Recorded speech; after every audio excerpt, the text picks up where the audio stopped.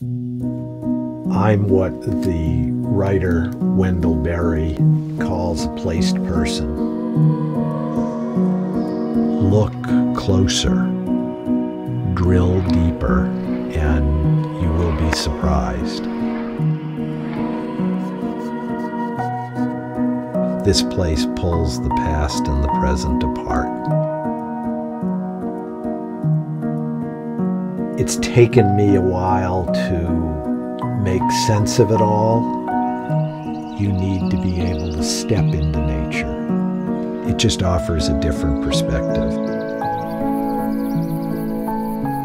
It's a marriage between nature and human in a way that produces something good for both. I was walking through the orchard showing a bridge graft to one of our customers who was a heart surgeon, and he said, That's just what I do, only I do it on people. My grandmother grafted on her family farm, and my Uncle Jim was an avid grafter. I guess you could say that I'm a third generation grafter.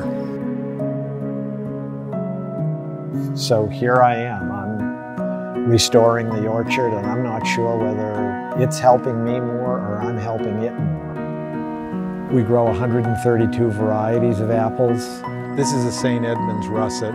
Briggs Auburn. This is a Prairie Spy. This is a Pomme d'Or. The seeds inside rattle when they're ripe. We live in a hyper accelerated time, and we might do better by slowing things down a little bit. You need to be able to think differently. There are just these little moments a five minute glimpse of the sun, a fury of wind, a feeling of awe or the sublime. This orchard is an illustration of how long things really can last. Sometimes people think that being in nature is an alternate reality, but it isn't. It is the reality.